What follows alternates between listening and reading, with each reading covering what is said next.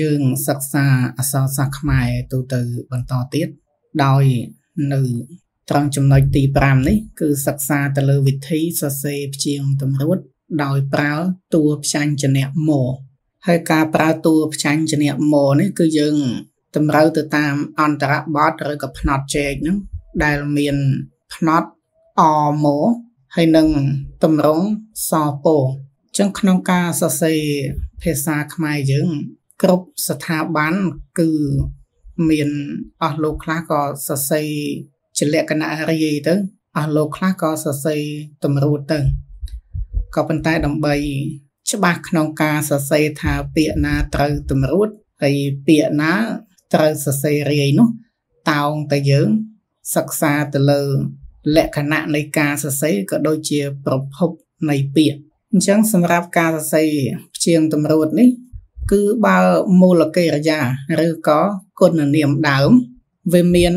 ផ្ចាញ់ចនៈនឹងតម្រួតគ្នា មានន័យថាពាក្យហ្នឹងគេសរសេរហ្នឹងវាត្រួតគ្នា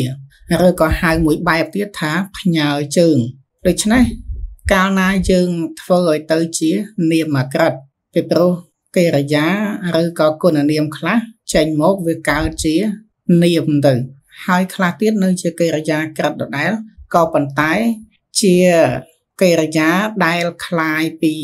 កតុវាចកៈទៅជាហេតុកតុវាចកៈមានន័យថាពីកិរិយាដែលមិនសកម្មទៅជាកិរិយាសកម្មឬក៏ជាកិរិយាដែលប្រព្រឹត្តធ្វើអំពើខ្លួនឯង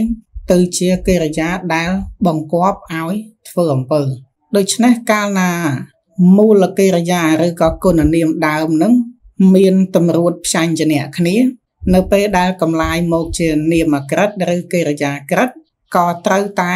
តម្រួតដែរដោយយើងប្រើ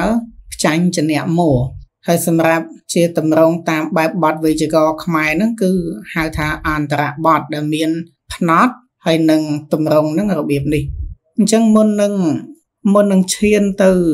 ការសិក្សាទៅលើពាក្យជាឧទាហរណ៍ខ្ញុំសូមរំលឹកថាប្រសិនបើមូលកិរិយាឬក៏គុណនាមដើមនឹងផ្ចាញ់ចនៈដែលត្រួតគ្នានោះវាជាពួកធនិតមានន័យថាផ្ចាញ់ចនៈដែលមានលាយដោយអក្សរហកាលណាយើងយកមកកំឡាយវាដោយប្រើតួមកហ្នឹងទៅតម្រួតចំនួនត្រូវតែធ្វើផ្ចាញ់ចនៈដែលជាពួកធនិតនឹង ទៅរកពួកសិទ្ធលវិញ មានន័យថាត្រឡប់ទៅរកផ្ចាញ់ចនៈខាងដើមវាឧទាហរណ៍ថាបើវាកហវាបំលែងវាទៅជាកវិញបើវាកហបំលែងទៅជាកវិញបើវាចហបំលែងវាទៅជាចហើយបើវាចហបំលែងទៅជាចជាដើមអញ្ចឹងយើងមើលឧទាហរណ៍ពាក្យថាឆ្កាចេញមកជាចំការដូច្នេះអក្សរចហនេះវាតម្រួតលើអក្សរក ហើយចហជាផ្ចាញ់ចនៈពួកធនិតខាងដើមផ្ចាញ់ចនៈចហហ្នឹងគឺអក្សរចដូច្នេះហើយពេលកំឡាយមកជានាមក្រិតឬកិរិយាក្រិតគេសរសេរតែអក្សរខាងដើមវាទេ គឺអក្សរប្រភពដើមហើយបន្ទាប់មកគ្រាន់តែញែកវាមកដាក់ខាងដើមយកអក្សរម៉នេះមកត្រួតពីលើកទៅឧទាហរណ៍មួយទៀតពាក្យថាខ្ទេចចេញមកជាកំតិច អញ្ចឹងអក្សរកហវាកើតពីកនិងហនៅពេលដែលយើងបំលែង គឺយើងយកផ្ចាញ់ចនៈកំណើតដើមវាមកដាក់ហើយយកអក្សរម៉ហ្នឹងមកដាក់មកក្រៀមចេញមកជាកំរៀមចាអក្សរកនេះជាផ្ចាញ់ចនៈសិទ្ធល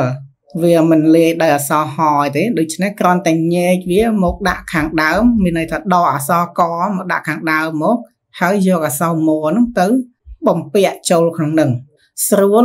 មកជាសម្រួល ស្រោបមកជាសម្របស្អប់មកជាសំអប់ត្រួតមកជាតម្រួតត្រៀបមកជាតម្រៀបស្គាល់មកជាសម្គាល់ស្លឹងមកជាសម្លឹងឈ្នះមកជាជំនះស្អាតមកជាសម្អាតដូច្នេះពាក្យប៉ុណ្ណេះជាដើម ដែលយើងសរសេរឃើញថា វាមានការត្រួតគ្នារបៀបនេះ ដោយសារមូលហេតុធំគឺមូលកិរិយាឬក៏គុណនាមដើមមានន័យថាស័ព្ទដើមវាដំបូងឯនោះ ស័ព្ទដែលជាឫសគល់វានឹងវាត្រួតគ្នា តែកាលណាស័ព្ទដើមវាត្រួតគ្នា ពាក្យដែលคล้ายមកជានាមក្រិតឬក៏កិរិយាក្រិតនោះ